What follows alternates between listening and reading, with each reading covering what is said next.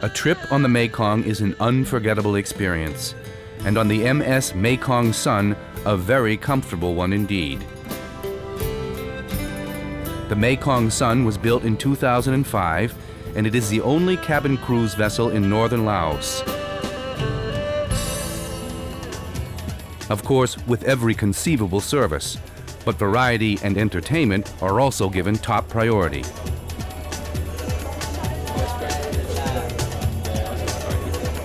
A maximum of 28 passengers travel in 14 cabins that face the river. A crew of 18 caters for the passengers. All cabins have a French balcony, some even a full balcony, as well as their own bath.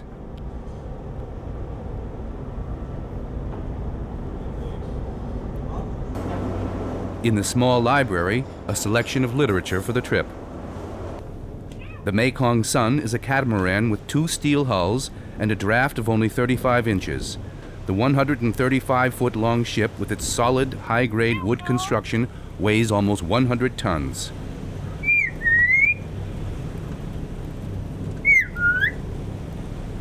It sails under the Laotian flag for predominantly Western passengers. Each detail on board has been lovingly selected and creates an atmosphere of well being. Amazing what the chefs can conjure up in the small galley.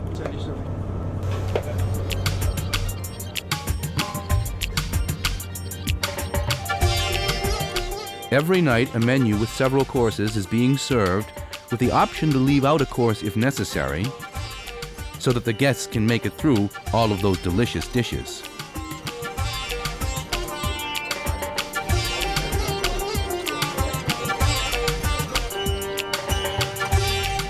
And there is at least one information session every night.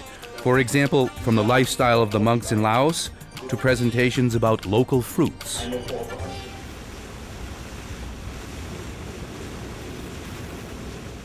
Even if the daytime temperatures in the Laotian winters linger around 25 degrees Celsius, it is sometimes quite cool in the mornings. The guests can then choose whether to have a breakfast on the open deck or to stay inside in the cozy on-board restaurant. A trip on the Mekong means experiencing slowness without a single moment of boredom. The father of the Mekong Sun on his company's idea. Wir wollen dem Kunden nicht nur die Erwartungen erfüllen, sondern die We don't just want to meet the expectations of our customers, we want to exceed them. The market reacts very positively to our new routes, which are cleverly worked out and which are more distinctive than the others. As soon as there is anything interesting to see, the Mekong Sun docks without further ado. And the passengers are then taken to the sights.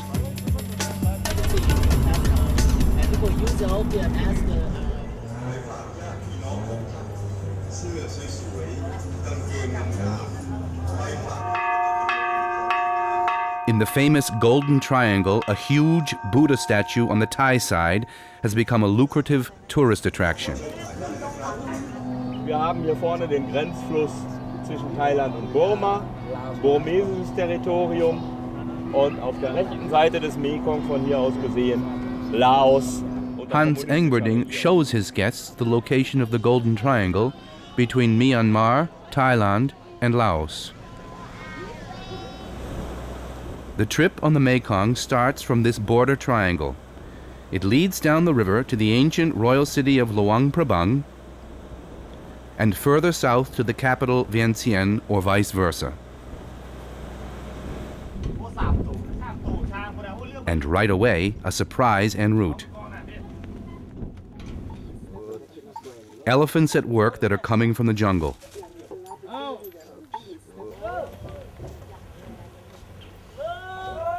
They help to transport the high grade wood to the cargo vessel.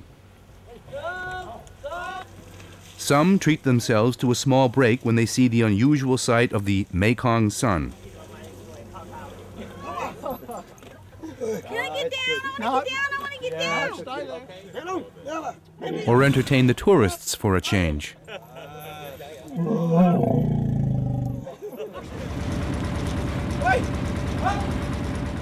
But above all, it's hard work they're doing day after day for about $1 per person per day.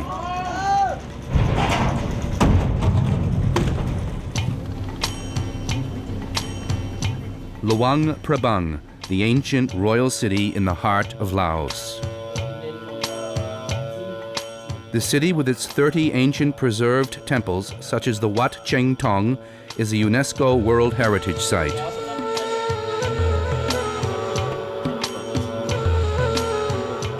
Somehow, it is still the country's secret capital.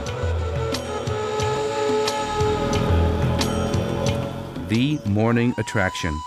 A procession of monks makes its way through the streets of the city. A blessing for those who give, not those who take.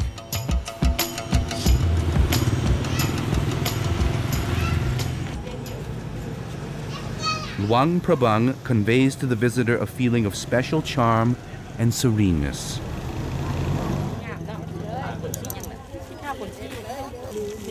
The night market with its local products and the night bar scene is a part of it.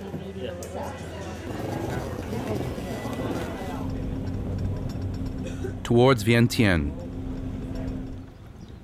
The large stupa in the capital is the landmark of Laos.